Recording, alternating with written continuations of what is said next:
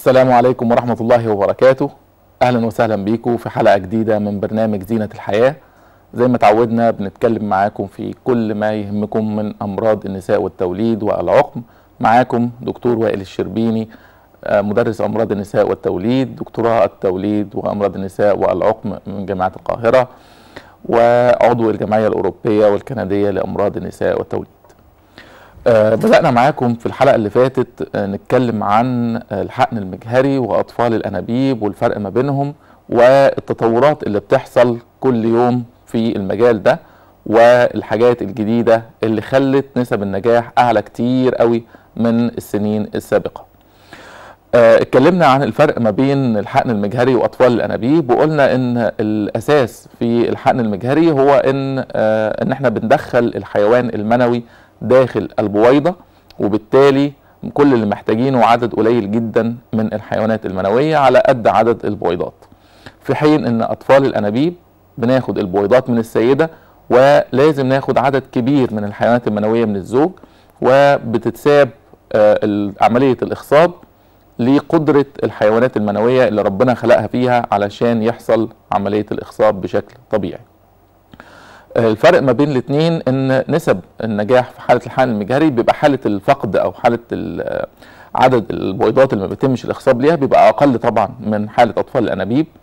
الحاجة التانية إن لو عدد البويضات قليل جدا زي بويضة أو بويضتين يبقى لازم نتجه إلى الحقن المجهري علشان ما يبقاش عندنا نسبة فقد خالص. الحاجة الثالثة إن آه، الحقن المجهري يساعدنا في إن إحنا نعالج حالات كتيرة قوي من حالات العقم عند الذكور لما بنضطر إن إحنا ناخد عينة من الخصية لأن السائل المنوي ما فيهوش حيوانات منوية خالص آه النهارده عايز أقول لكم عن آه الأسباب اللي بتخلينا نلجأ لعملية الحقن المجهري أو أطفال الأنابيب عند السيدات. هنبتدي الأول بالأسباب اللي عند الزوج. آه زي ما شرحنا إن لازم يكون في مشكلة المشكلة دي يا إما تكون تشوهات كثيرة في الحيوانات المنوية يا إما تكون العدد عند الزوج قليل و أو إن تكون الحركة ضعيفة جدا أو إن نلاقي إن معظم الحيوانات المنوية ميتة. طيب إيه اللي بيعمل المشاكل دي؟ نبقى عارفين إن الخصية هي المصنع اللي بيصنع الحيوانات المنوية. وإن ربنا خلق الخصية خارج الجسم علشان تبقى درجة حرارتها أقل من درجة حرارة الجسم بدرجتين لثلاث درجات. بالتالي يبقى أي حاجة هترفع درجة حرارة الخصية هتقلل من إنتاج الحيوانات المنوية وفي أوقات بتوقفها خالص.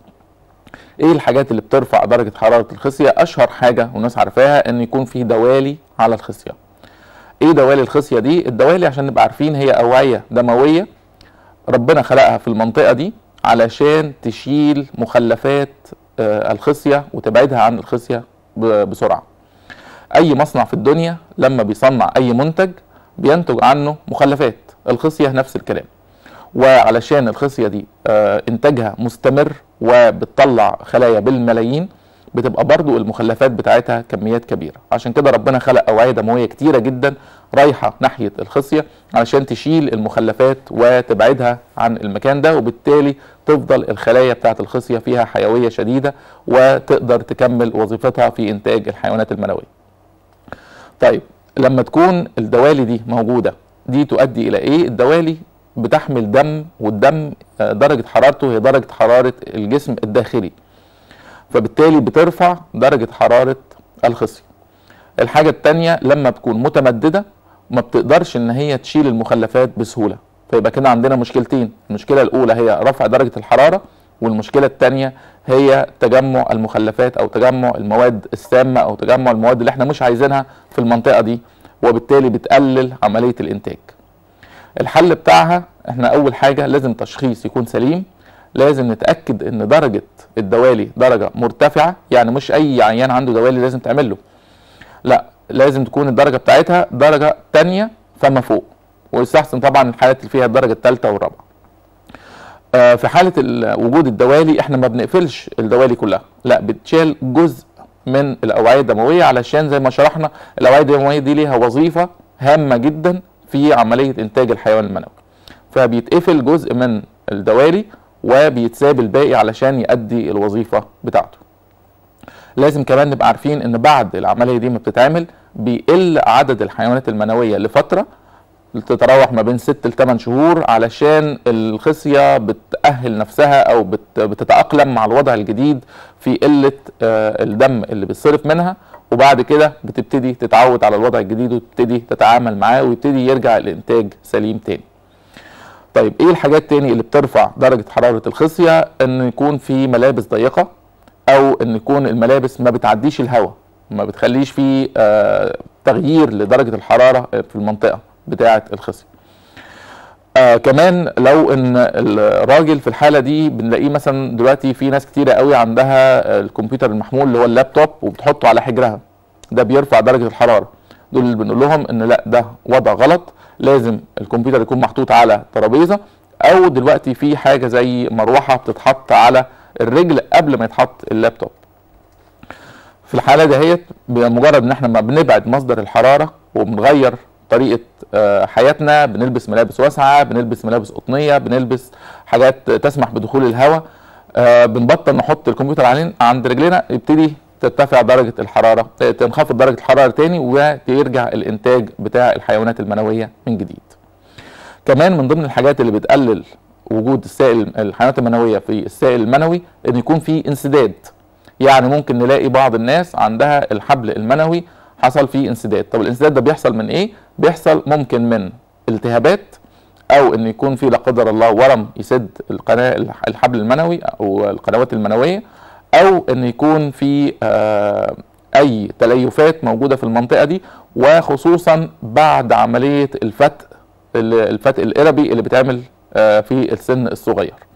ممكن تبقى العملية تتعمل العملية دي بتتعمل في نفس المنطقة اللي موجود فيها الحبل المنوي. ممكن أثناء العملية يا إما الحبل المنوي يتقطع يا إما إن يحصل تليف حواليه فيحصل له انسداد. كمان الناس اللي بتعمل آه بتحصل عندهم تضخم في البروستاتا.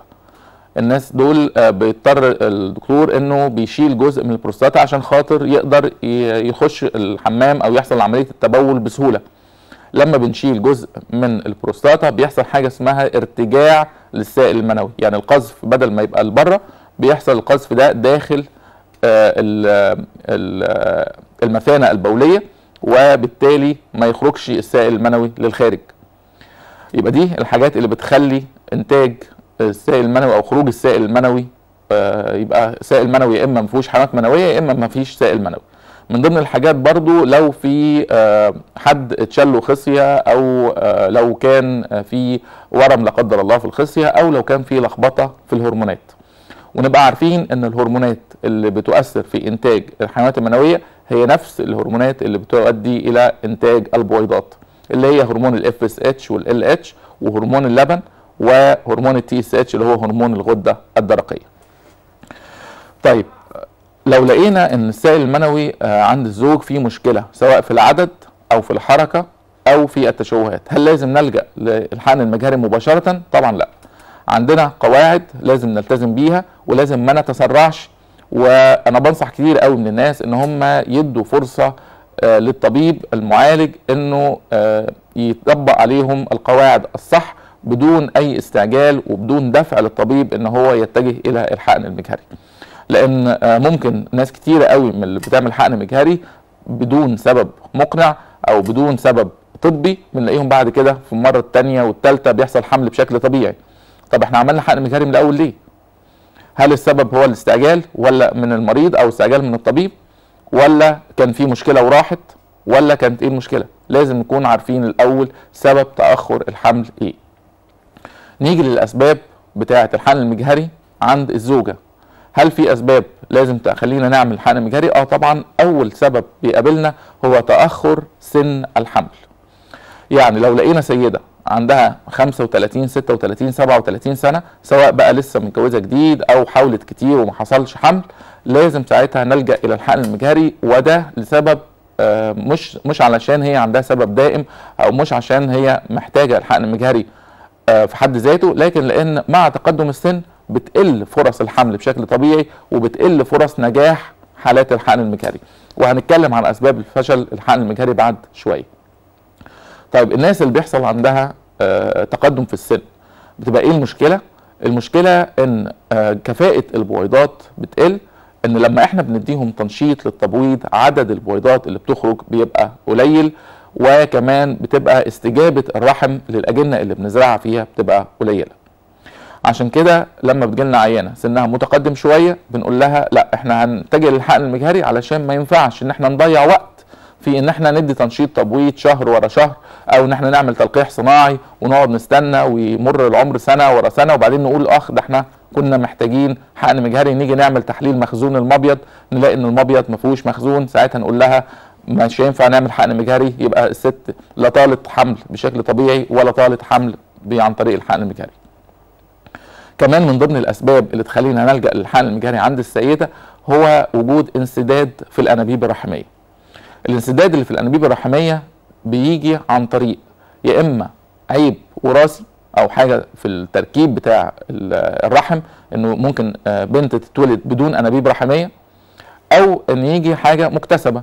طيب الأنابيب الرحميه تتسد إزاي؟ الأنابيب الرحميه ممكن تتسد من الداخل لو حصل التهاب في البطانة بتاعة الأنابيب الرحميه في مرض بيعرف باسم التهاب الحوض ده بيكون التهابات مهبلية وبتطلع إلى الرحم والسيدة ما ما بتركزش معاها وبتقول عادي والإفرازات دي حاجة عادية تكمل تطلع على الأنابيب الرحميه وتعمل التهاب في داخل الأنابيب وبالتالي تتسد الأنابيب الرحميه وممكن كمان تتسد من الخارج.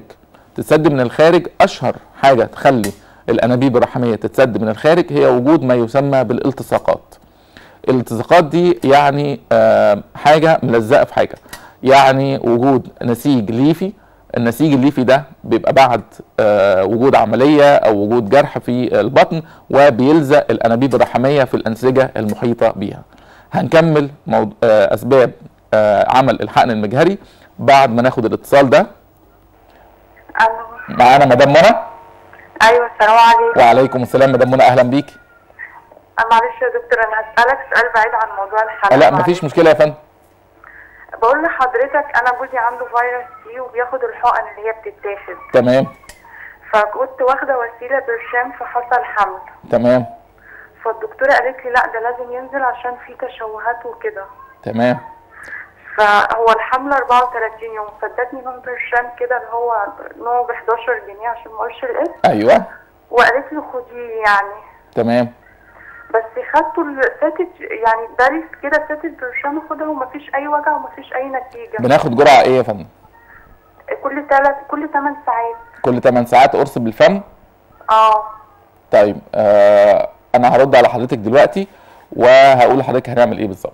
أنا متشكر جدا وبرجو من كل الساده المشاهدين إن هم آه، يتصلوا بينا أثناء البرنامج على التليفونات الواضحة قدامكم وبعد البرنامج على آه، تليفوناتي هتلاقوني معاكم مباشرة وهرد على كافة الاستفسارات اللي عندكم آه، بالنسبة لموضوع استخدام الانترفيرون مع مرضى الالتهاب الكبد الوبائي هو فعلا بيؤدي إلى تشوهات في الحيوانات المنوية والتشوهات دي بتنتقل لو حصل إخصاب للجنين.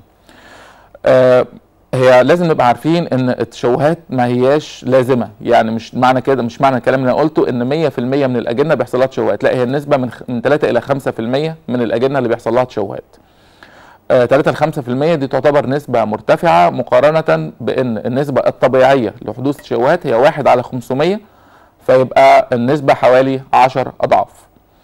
طيب الناس دول نعمل لهم إيه؟ بنديهم فعلا حاجة تنزل آه، الجنين في بعض الحالات اللي بنشك فيها إن فعلا حصل تشوهات.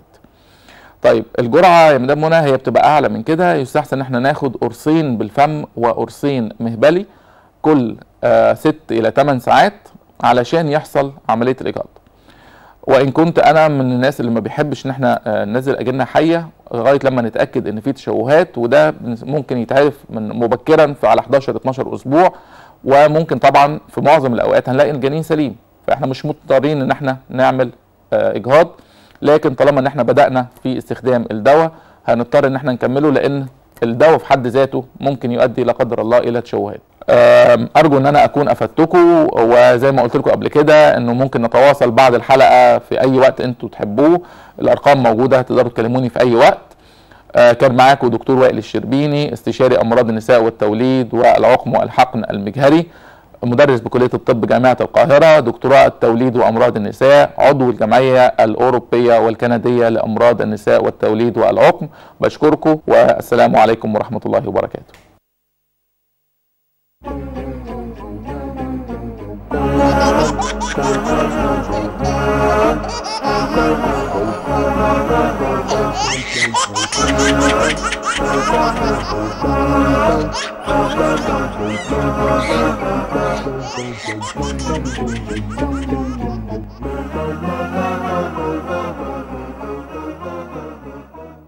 مركز المرأة والرجل للخصوبة والصحة الزوجية أيام